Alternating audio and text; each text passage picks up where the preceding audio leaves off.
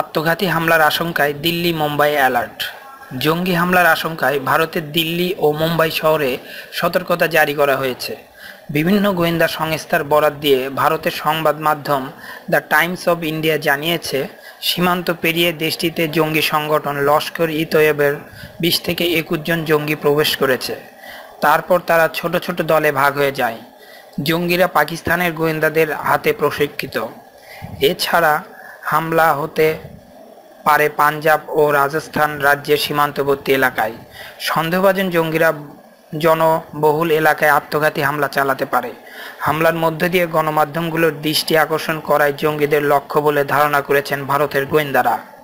এদিকে হামলার আশঙ্কায় সতর্কতা জারি করার পর থেকে দিল্লির রেল স্টেশন, বিমানবন্দর হোটেল, স্টেডিয়াম ও ধর্মীয় স্থান সহ জনবহুল এলাকায় নিরাপত্তা ব্যবস্থা জোরদার করা হয়েছে।